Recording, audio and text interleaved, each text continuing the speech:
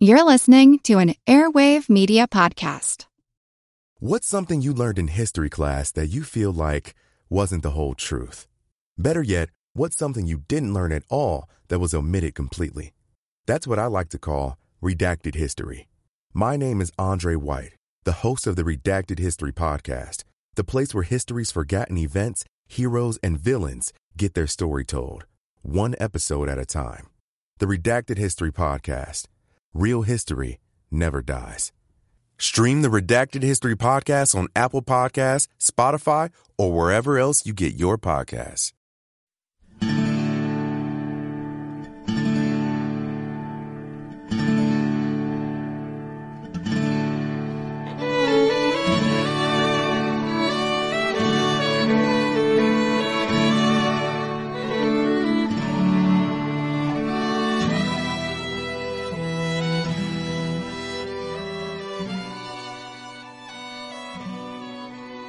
Hey everyone, welcome to episode number 214 of our Civil War podcast. I'm Rich. And I'm Tracy. Hello, y'all. Thanks for tuning into the podcast. Uh, sorry we missed last week. I was on call and had to work, but we're back with this show, and we'll pick up right where we left off with the Battle of Perryville in Kentucky on October 8th, 1862.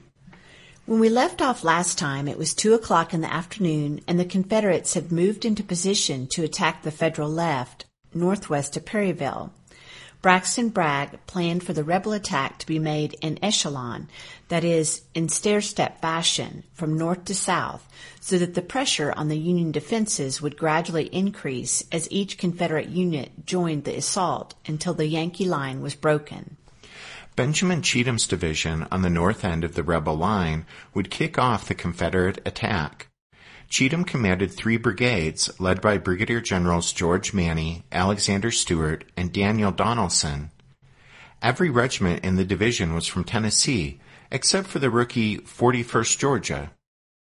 Cheatham believed his entire division stood beyond the Federal left, so he decided to strike and roll up the end of the enemy line with Donelson's men and use his other two brigades as a reserve to exploit Donelson's expected success.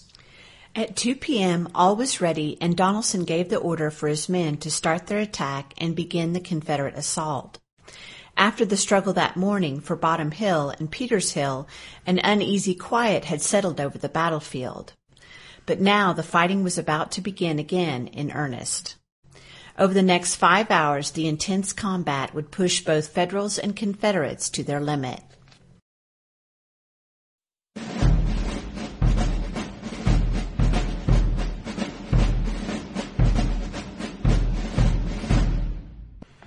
While the Confederates moved into position for their attack, on the Federal side, Colonel John Starkweather's brigade arrived at the Dixville Crossroads at about 1.30.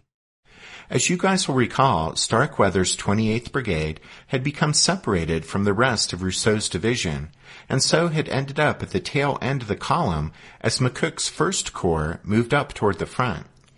Starkweather parked the Corps' supply wagons at the Dixville Crossroads and tried to figure out his next move. None of McCook's or Rousseau's staff officers were there with instructions or to guide him into position, so Starkweather made a key decision on his own. As he wrote later, quote, thinking the extreme left to be most accessible and from appearances one that should be held at all hazards, I placed my command at once. In other words, Starkweather, on his own initiative, decided to move up and use his brigade to shore up the left end of the Union line, which just happened to be the exact spot about to be attacked by Donelson's Confederates.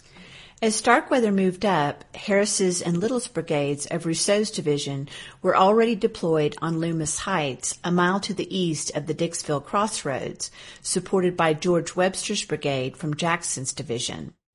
The rest of Jackson's division was positioned around the open knob to the left of Rousseau's line. After moving his men up to the front, Starkweather deployed the 24th Illinois in the fields south of the Benton Road, where they formed a link with Harris's brigade. The 79th Pennsylvania took position in a wood line to the left of the 24th, with its left flank resting on the roadway. The 1st Wisconsin and the brigade's two artillery batteries were posted on a piece of high ground north of the road, soon to be known forever after as Starkweather Hill. The 21st Wisconsin was held in reserve behind the hill. In front of Starkweather Hill sprawled a large cornfield, and beyond that was the open knob. Lovell Rousseau appeared just as Starkweather finished his deployment, and Rousseau gave his stamp of approval to his subordinate's initiative, later saying that, quote, Colonel Starkweather had the good sense to fall in on our left, and I found his brigade on the very spot where it was most needed. Rousseau, however, did make one significant change to the brigade's dispositions when he ordered the 21st Wisconsin forward from its reserve position and into the cornfield in front of Starkweather Hill. As the 21st Wisconsin moved into its new position, less than a mile away on the Confederate side of the lines, Donelson rode over to his lead regiments, the 15th and 16th Tennessee. The 16th commander, Colonel John Savage, was an old U.S. Army veteran and a notoriously prickly officer. He had previously clashed with both Cheatham and Donelson and had been on report for insubordination. As Daniel Donelson and Savage stood at a wood line and surveyed the terrain to their front, Donelson pointed out the only Federal battery visible.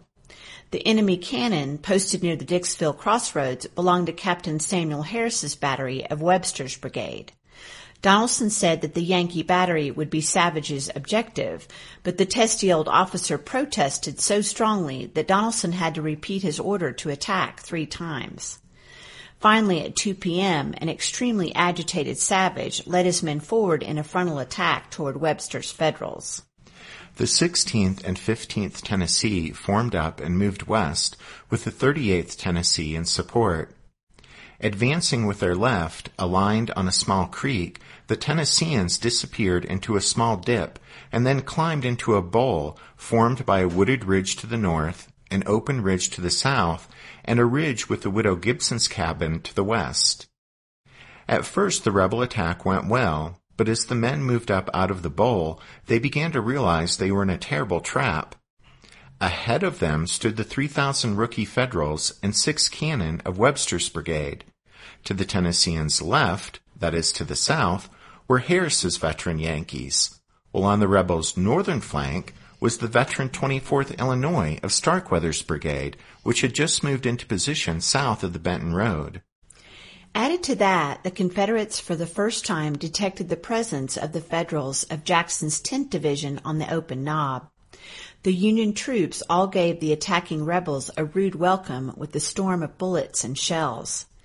One eyewitness later recalled how, quote, as the 16th Tennessee approached the lowest point in this depression, the enemy opened a murderous fire upon them with musketry and artillery from right, left, and center. The ranks of the 16th Regiment were mowed down at a fearful rate, and the 15th Regiment also suffered severely. The ranks closed up, and the brigade pressed onward in the charge. Despite the enemy fire pouring in from three sides, the Tennesseans kept moving forward. They pushed to within 150 yards, yards of Webster's position before being pinned down by the concentrated Union fire. As the battle swirled around her home, the widow Gibson grabbed her three sons, ages 10, 8, and 5, and hid below the cabin's floorboards for the rest of the day. Meanwhile, Rousseau shifted several of Harris's and Starkweather's regiments to help blunt the rebel assault, and by 2.30 most of Donelson's battered and bloody Tennesseans had fallen all the way back to their jump-off positions.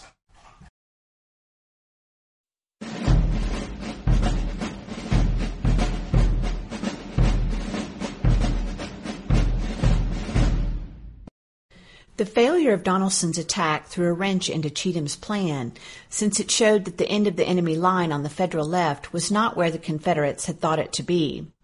And so now, instead of using Manny's and Stewart's brigades to exploit Donelson's success, Cheatham was forced to redeploy them to make a frontal attack against the northern part of the Union line. Manny's Tennessee and Georgia troops would lead this assault, with Stewart's men providing support.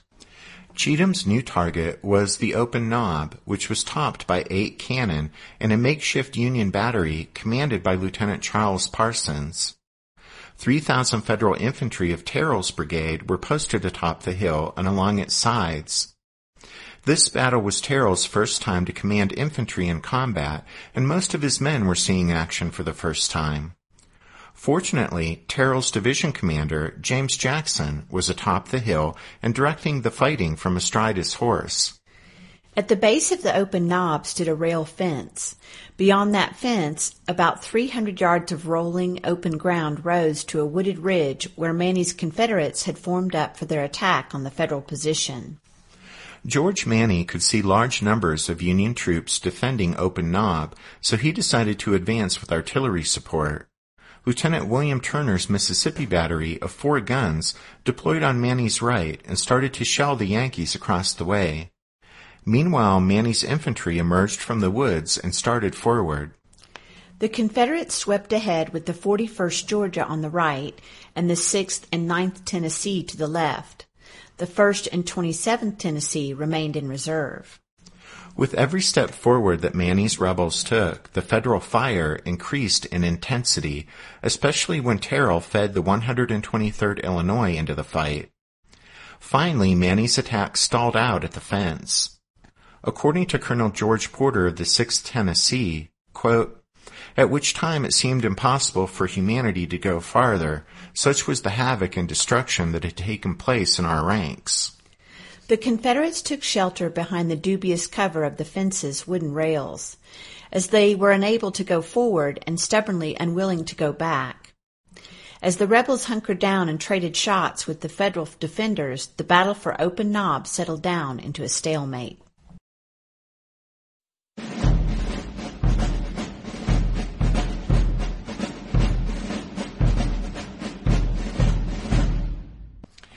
The Confederate advance had come to a standstill, but the ensuing firefight had a profound impact on the course of the battle.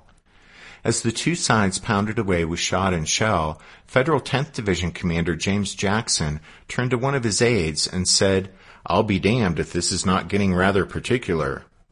Then he was shot in the chest, knocking him out of the saddle. A captain rushed to Jackson's side and later described the scene, saying, quote, I found him on his back, struggling to speak, but unable to do so. He died in a few moments. This was a crucial blow to the Union troops defending Open Knob, since with Jackson's death they had lost their most experienced infantry officer.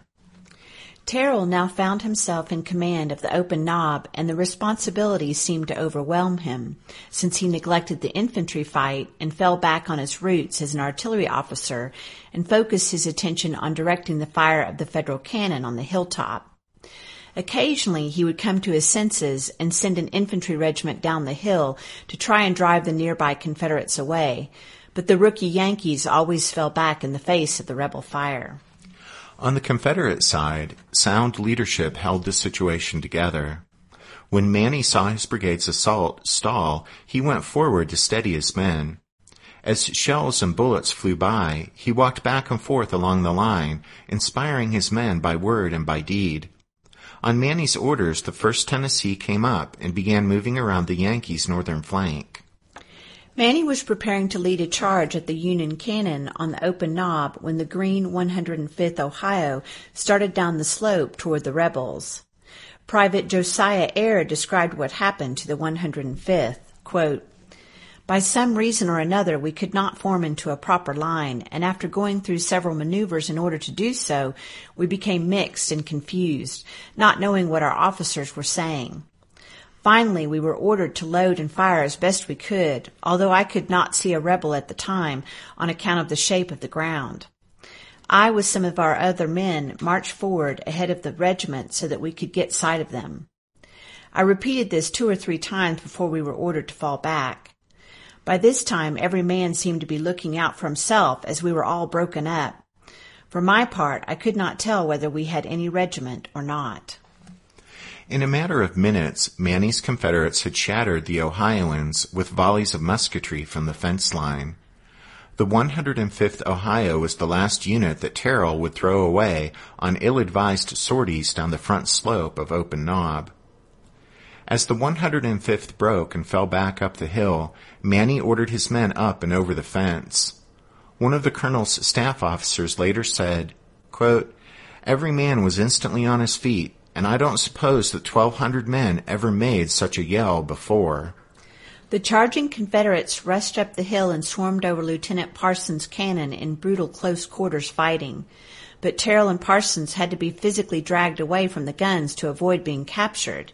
But seven of the eight cannon were overrun by the onrushing rebels.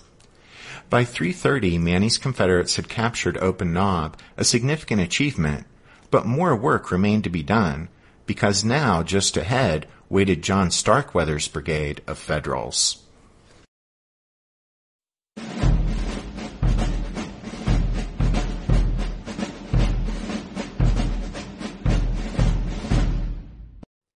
As Manny's Confederates swarmed over the top of Open Knob, the 12 Federal guns on Starkweather Hill opened up on them, making that spot an unhealthy place for the rebels.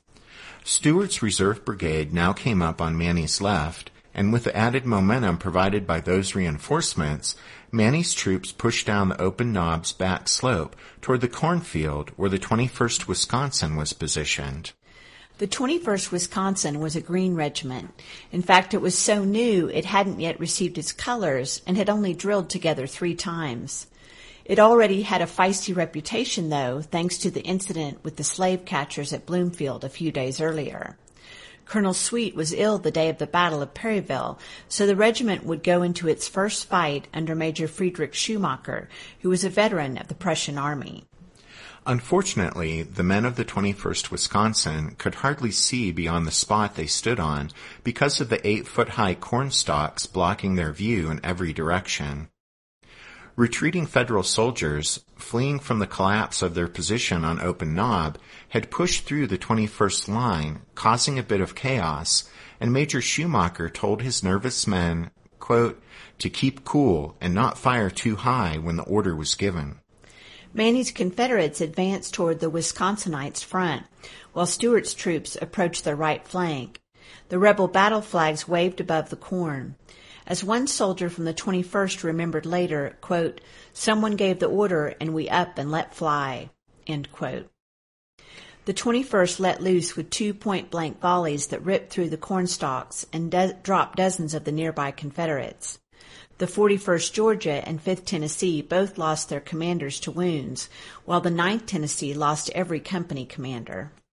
But those two volleys were all the Wisconsinites could manage before the Confederates crashed into them. Hand to hand combat broke out as both sides grappled for possession of the cornfield.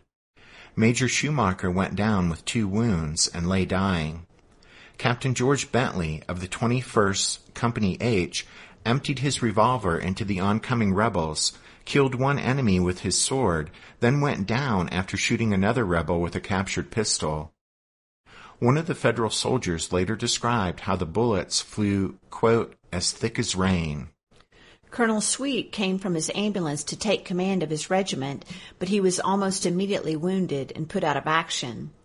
For a few moments, the soldiers of the 21st Wisconsin braved a brutal baptism of fire, but then the regiment broke and men fled for the safety of the Federal artillery on Starkweather Hill.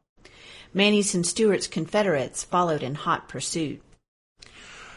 By a quarter to four, most of Cheatham's division was bearing down on the 1,500 Federals in Starkweather's three remaining regiments. Donelson's men had returned to the attack and were pressing the 24th Illinois on Starkweather's right. The 24th, a predominantly German unit from Chicago, fought hard but was pushed back into a position bent at right angles to the 79th Pennsylvania. But the efforts of the Illinoisans and Pennsylvanians when combined with those of parts of Webster's brigade, brought Donelson's Tennesseans to a halt again. Meanwhile, on Starkweather Hill, Manny's and Stewart's Confederates charged up the slope as Colonel Starkweather turned to his men and shouted, Now, my brave 1st Wisconsin, do your duty. Sergeant Elias Hoover recalled how the, quote, rebels came in a solid column to take the battery and we were ordered to rise and fire.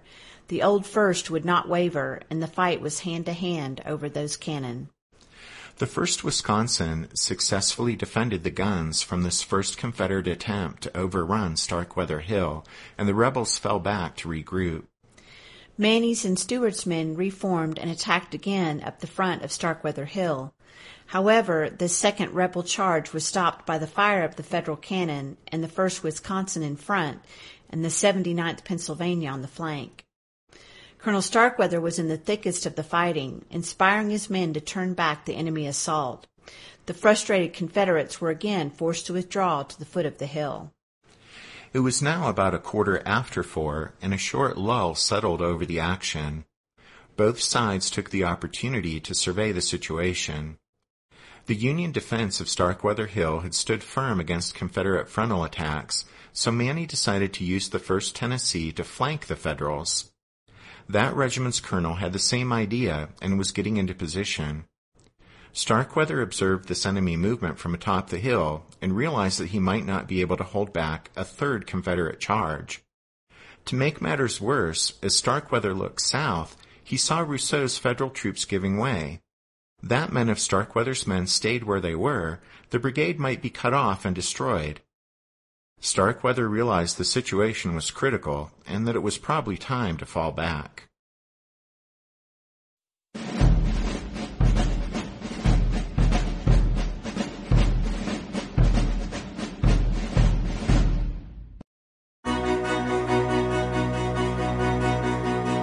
History never says goodbye. It just says, see you later. Edward Galeano was right when he said that. Events keep happening over and over again in some form. And that's the reason I produce the podcast, My History Can Beat Up Your Politics. What is it? We take stories of history and apply them to the events of today to help you, perhaps, understand them better. We are also part of Airwave Media Network. I've been doing the program since 2006. That's a long time, and the show has a long name. My history can beat up your politics. Find me wherever you get podcasts.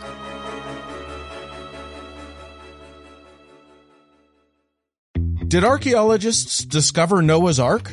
Is the rapture coming as soon as the Euphrates River dries up? Does the Bible condemn abortion? Don't you wish you had a trustworthy academic resource to help make sense of all of this? Well, I'm Dan Beecher, and he's award-winning Bible scholar and TikTok sensation Dr. Dan McClellan, and we want to invite you to the Data Over Dogma podcast, where our mission is to increase public access to the academic study of the Bible and religion, and also to combat the spread of misinformation about the same. But you know, in a fun way. Every week we tackle fascinating topics. We go back to source materials in their original languages. And we interview top scholars in the field. So whether you're a devout believer or you're just interested in a clear-eyed, deeply informed look at one of the most influential books of all time, we think you're going to love the Data Over Dogma podcast. Wherever you subscribe to awesome shows. What Starkweather saw as he looked south was Hardee's Confederates attacking the Federal positions overlooking Doctors Creek and the Bottom House. You see, while Cheatham's rebel troops engaged Terrill's and Starkweather's Federals to the north, other Confederate units down the line were swinging into action as part of the Echelon attack. The second part of Bragg's Echelon attack got underway about 3 p.m., while Manny's rebels were stalled along the fence in front of Open Knob. South of Cheatham were two brigades from Patton Anderson's division under Colonel Thomas Jones of Mississippi and Brigadier General John C. Brown of Tennessee. Brown was an experienced officer with a good brigade, while Jones was filling in for Anderson and had never commanded a force larger than a regiment before this battle. Jones' three inexperienced Mississippi regiments were deployed south of Donelson's position, with Brown's Florida and Mississippi units to their left. Significantly, Patton Anderson never visited this part of the front since he preferred to remain with other elements of his division on the Springfield Pike. Anderson also failed to designate a single commander in this sector, so the two rebel brigades here would operate more or less independently of each other. Leonard Harris's brigade of Federals from Rousseau's division stood opposite Jones and Brown. Except for the rookie 94th Ohio, the rest of Harris's Ohio, Indiana, and Wisconsin troops were all veterans. Harrison's, Harris's men had been in position for several hours and were prepared to defend their part of the Union line. They were supported by Captain Peter Simonson's six-gun Indiana battery. The terrain in front of Harris's position was some of the most complex on the battlefield. Three north-south ridges paralleled the Union line of battle. Harris's men occupied the westernmost one, which was open, while the tree-lined eastern ridge was held by the Confederates. Between the two forces, the narrow center ridge reached just high enough to create the optical illusion that the enemy was only on the next crest over. About three o'clock, Jones's three Mississippi regiments advanced out of the woods. Most of his men carried smoothbore muskets, except the men of the Company K of the 27th Mississippi, who were armed with Enfield rifles, so they preceded the advancing line as skirmishers. It was this company's commander, Captain John Sale, who first perceived that something was amiss with this attack. Due to the optical illusion, the Confederates had thought the Federals were on the next ridge over, but Captain Sale was the first to discover that there was a middle empty crest and the Yankees were actually on the next ridge over, just to the west. Sale halted his men and reported his discovery back to the brigade. He was told to move forward, so he led Company K over the middle ridge. Meanwhile, Colonel Jones abandoned the brigade and found a safe hiding spot for himself. As the Mississippians suddenly topped the middle rise and burst into full view of the waiting Federals, Harris's men were impressed by the determination of the Confederate attack. One Ohio so- soldier later said, quote, with closed column and the rebel yell, which we then heard for the first time, they came on like veterans and the onslaught was terrible. The Mississippians repeatedly tried to continue on over the middle crest, despite the heavy fire pouring forth from the Union infantry and artillery, but the enemy fire proved too much, and the Confederates couldn't advance farther. After twenty minutes it was all over, and the dazed survivors of Jones' brigade retreated to the safety of the rebel lines. Half of the 34th Mississippi lay dead or wounded on the field. Only one officer of that regiment escaped the fight unhurt. The casualty rates for the other two regiments also approached 50%. Leaderless, battered, and bloodied, Jones' rookies were out of the fight and useless for the rest of the day.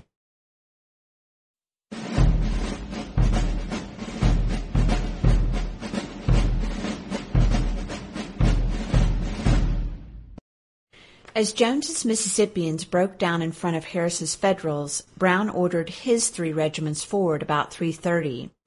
His brigade had sheltered in the valley of Doctor's Creek, and at Brown's command they started forward toward the Union position.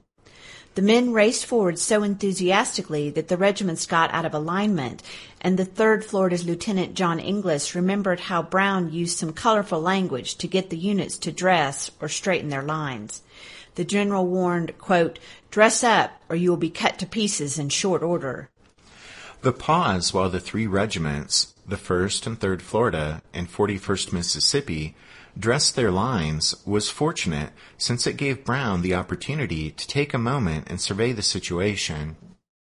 Seeing the shattered remnants of Jones' brigade fleeing to the rear, Brown realized a headlong charge by his brigade might suffer the same fate. He also understood that if his attack failed, the Confederate center would be left wide open for a possible Federal counterattack that could drive a wedge between Cheatham's troops to the north and Simon Bolivar Buckner's division to the south. Brown, therefore, needed to guard the rebel center and hold the line together. Seeing that his men had corrected their alignment, Brown renewed his advance, but rather than trying to push beyond the middle crest like Jones's Mississippians, Brown ordered a halt. Spreading his brigade out along the ridge, Brown's regiments began trading fire with Harris's Federals across the way. Brown's excellent command decision delivered his brigade to precisely the right spot at just the right time to do the most good. For the next 45 minutes, both sides lay prone and blazed away at each other as best they could. But the firefight here couldn't continue indefinitely, and by 4 p.m. both sides were running low on ammunition. The need for more cartridges became especially urgent on the federal side. Harris's Yankees searched the wounded and dead for ammunition, while Brown's Confederates received a resupply that enabled them to keep up their rate of fire. On the Federal side, companies and then regiments ran out of bullets, and officers ordered the men to fix bayonets and stay down as best they could as rebel fire continued to pour in. It was a supreme test of discipline for Harris's men to lie on the open ridge, taking fire with no way to reply, but they did it, and the situation in the, in the center settled into a bloody stalemate.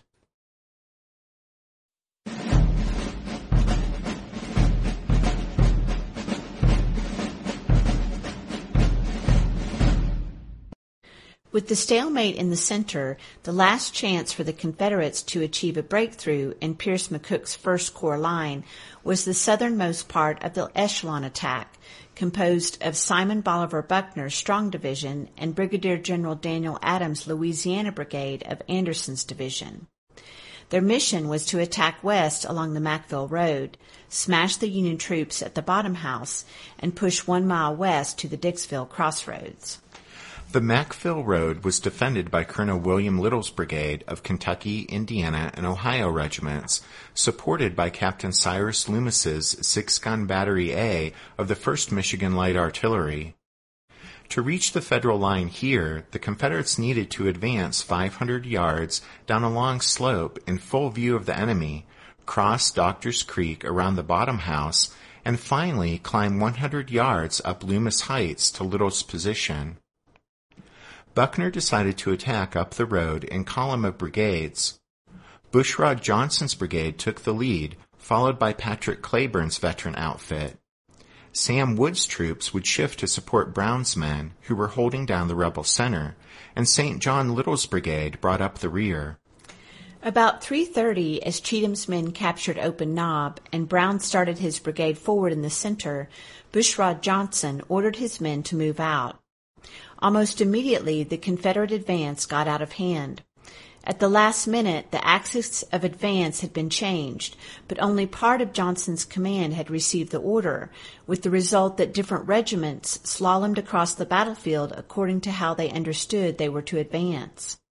Meanwhile, the Federal artillery rained shot and shell down on the Confederates. As Bushrod Johnson and Simon Bolivar Buckner worked to straighten out the confused rebel advance, artillery fire suddenly smashed into the Confederates from their left rear. The 44th and 25th Tennessee promptly wheeled left and charged the guns. However, it turned out to be a case of friendly fire, as the Washington artillery of New Orleans had been shelling Lytle's Federals when the rebel infantry got in the way. The 44th Tennessee's colonel, John Fulton, later said, quote, we charged rapidly up the hill with fixed bayonets to silence and take the battery on our left, and having gained the top of the hill, we found it to be the Washington artillery, and immediately reported to them that they had been playing upon their own men. So, you know, uh, oops. Finally, Bushrod Johnson's Tennesseans got themselves sorted out and continued their advance toward Doctor's Creek and the bottom house beyond. This section of the creek featured a deep valley with very steep banks, which in some places were a nearly vertical 40 feet high. Lytle had given permission to the 42nd Indiana to fill their canteens before the battle, and the men were still down in the creek bed when the fighting started. Their muskets were stacked up on the bank, and when Johnson's advance rolled forward, the 42nd was in no position to mount a defense. Many of the Yankees were shot down while trying to climb out of the creek, and some two dozen were captured.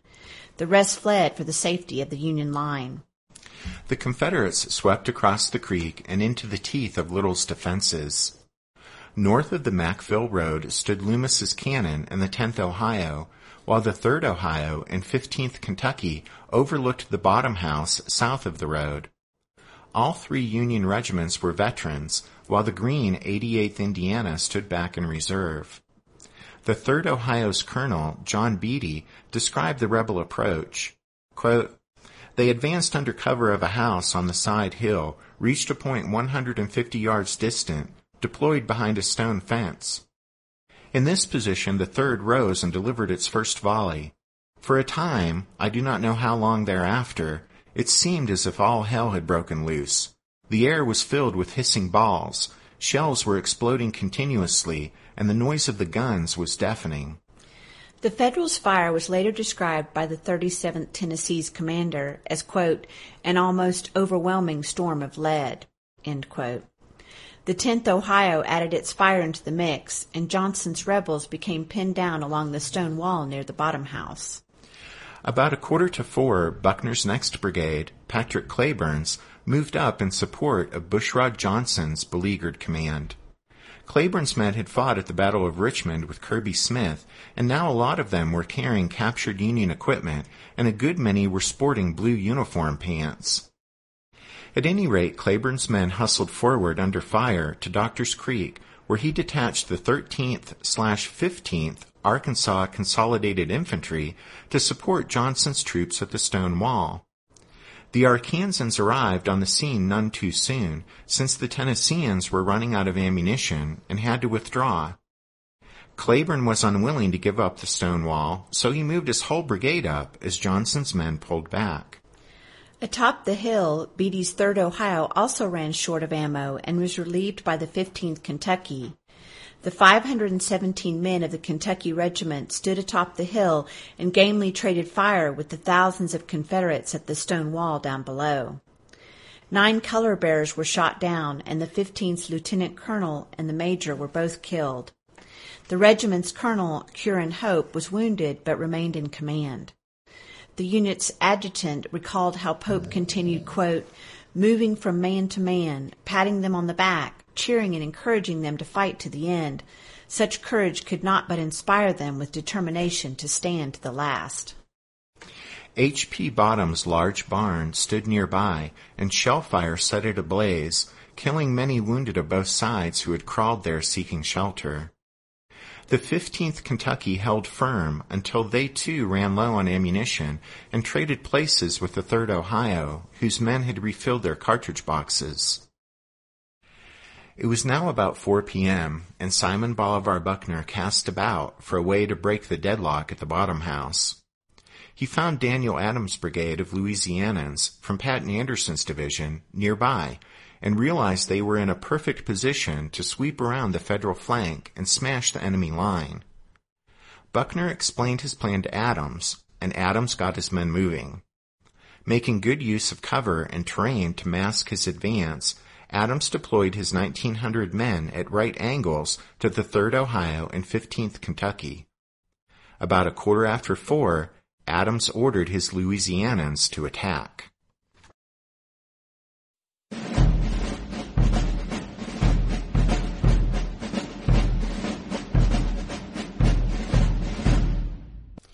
The attack of Adams' Louisianians put the 3rd Ohio and 15th Kentucky in a difficult spot. The 15th Colonel Pope turned part of his regiment to face the oncoming rebels, while the remainder continued the duel with Cleburne's Confederates. Beatty shifted the 3rd Ohio to face south and ordered his men to fix bayonets and charge in a desperate effort to check the Louisianians' assault but the 3rd Ohio had barely started moving before events overtook the two federal regiments. That's because at the stone wall, Cleburne was preparing an attack of his own. Adams' advance was the signal for Cleburne's men to head over the wall and hit Lytle's Federals from the front.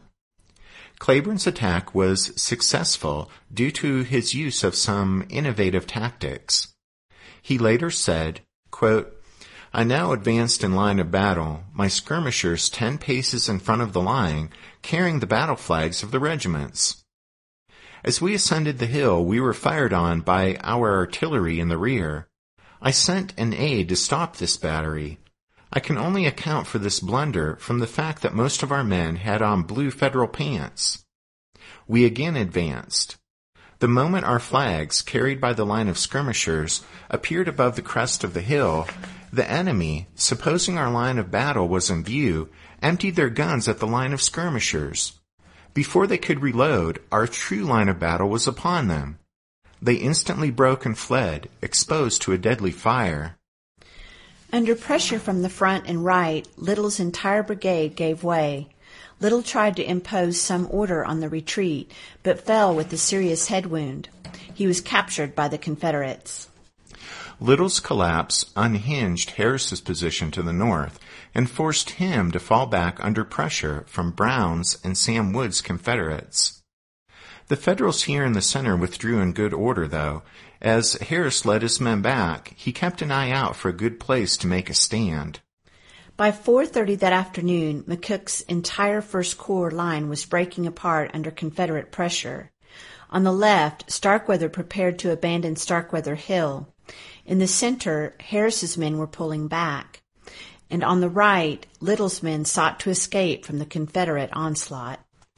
Meanwhile, on the Confederate side, Polk and Hardee, although initially opposed to Bragg's attack plan, now urged their troops on to greater exertions, hoping to turn the Federal retreat into a rout. With the Confederate objective, the Dixville Crossroads, within reach, the battle teetered on a knife edge. McCook's corps was now fighting for its very survival.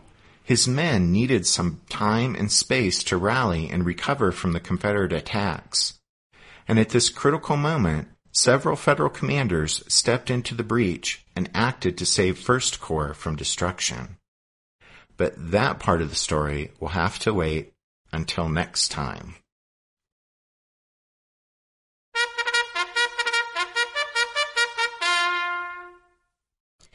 That means it's time for this episode's book recommendation.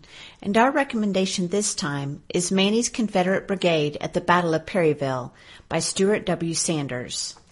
This episode uh, could have been twice as long as it ended up being, but in the interest of keeping the story moving along, we have to draw the line somewhere as far as how much detail to include. But if you're interested in learning more about the Confederate attack on the Federal left, then you can pick up Sanders' book, Maney's Confederate Brigade at the Battle of Perryville, which includes a lot of great first-person accounts from the fighting in this sector.